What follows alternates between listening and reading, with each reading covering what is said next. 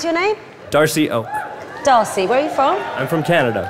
Are you living in the UK or? Are you I'm not. No, I came here just for this. So How old are you, Darcy? I'm 26. And what got you into the act that you're doing today? When I was a kid, actually, I had hopes and dreams of becoming a doctor, but my parents insisted that I become a magician.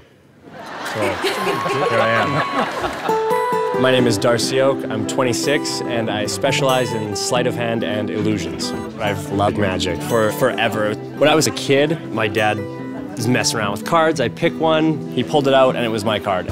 I experienced that feeling of like, how did you do that? And I wanted to do that to other people. Now, say the magic words. Abracadabra. Thank you. I'm auditioning for Britain's Got Talent because it's the biggest talent show in the world, and I want to be performing on a global scale. And I feel that if it goes well, it can change my life. I'm gonna go out on that stage and I'm gonna do what I've practiced my whole life, and hopefully they like it. All right, wish you the best of luck. Thank you very much.